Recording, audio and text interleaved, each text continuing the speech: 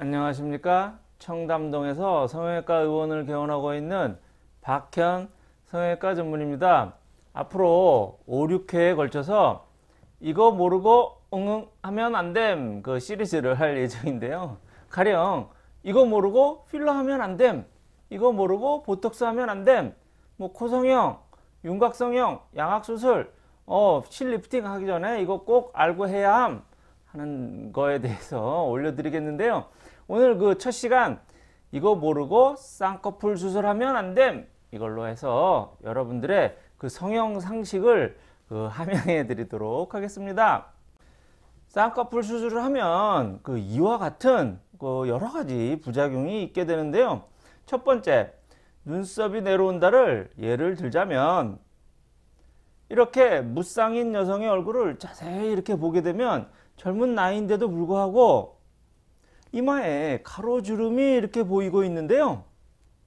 이는 이마 피부 아래쪽에 있는 표정 근육인 전두근, frontalis muscle이라고 하는데요. 이 전두근이 수축하면서 그 위에 피부가 이렇게 구겨지면서 발생한 주름입니다. 즉, 이분은 의식적이든 무의식적이든 간에 이마의 그 전두 근육이 긴장, 수축하면서 눈썹을 이와 같이 올리고 있는 표정인데요. 그렇게 할 수밖에 없는 이유는 전두근이 이완하면 동공을 가려서 시야도 좁아질 뿐더러 눈썹이 이렇게 내려오게 되면 주위 사람들이 아, 기분 안 좋으세요? 아, 화나셨어요? 하고 물어보기 때문입니다. 그래서 무의식적으로 이렇게 눈썹을 들고 있는데요. 쌍꺼풀 수술을 하여 눈이 커지고 시야가 넓어지게 되면 까만 화살표 길이만큼 빨간 화살표 길이도 아래로 내려와 눈썹이 내려오는 메커니즘이 되겠습니다. 2번으로 가서 눈이 커진다는 게 무슨 부작용이냐 하시는 분들이 이렇게 많겠습니다만 눈이 커지게 되면 눈 아래 먼지도 많이 들어가면서 이물질도 많이 들어가 다래끼가 많이 나고 눈썹도 많이 끼며 세수할 때 간혹 물 들어가고 비누가 들어가기도 합니다.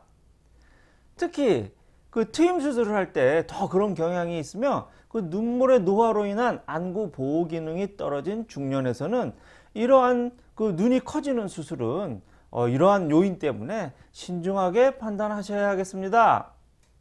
세 번째, 눈동자를 많이 보이게 하는 수술이 일명 눈매교정술이라고 하는데요.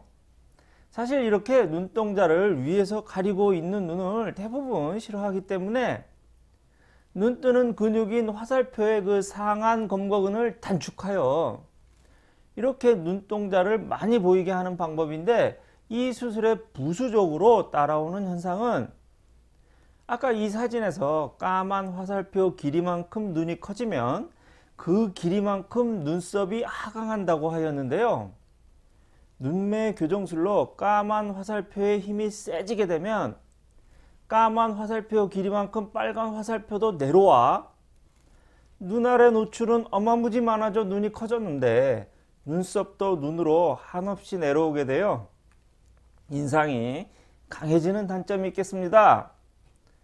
눈이 커지면 눈과 눈썹 사이가 사이 거리가 가까워질 수밖에 없는데 사실 예쁜 눈은 이렇게 눈동자가 많이 보이던 말던 큰 눈에 부릅뜨지 않으면서 눈썹이 눈에서 먼 비율인데 전지현 씨나 수혜 씨가 이러한 얼굴 비율이 되겠습니다. 이러한 비율을 만드는 비결은 첫째, 이분의 왼쪽 눈과 같이 눈동자의 노출을 그 적당히 하여 눈썹의 내려옴을 어느 정도 제한하는 방법.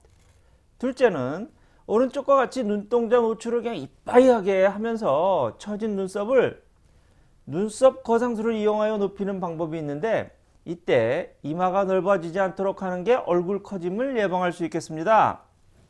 눈의 세로 길이를 크게 하는 수술이 쌍꺼풀 수술, 눈매 교정술이라고 한다면 눈의 가로 길이를 늘어나게 하는 게 앞트임 수술, 뒤트임 수술인데요.